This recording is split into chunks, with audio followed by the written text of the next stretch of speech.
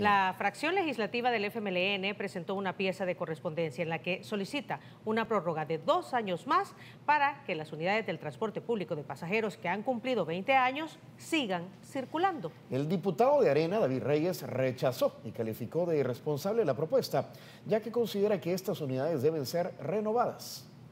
Creo que por el impacto de la pandemia en todo el mundo, se han retrasado producciones, se han retrasado ofertas. Entonces lo que se ha solicitado es, miren, denle dos años para que cumplan lo que la ley establece. Si ya en esos dos años no lo cumple, hombre, proceda. Un transporte deficiente, con bancas que se están cayendo, contaminante hacia nuestro medio ambiente. Es una irresponsabilidad total considerar siquiera ampliar el plazo para que los buses viejos puedan seguir circulando.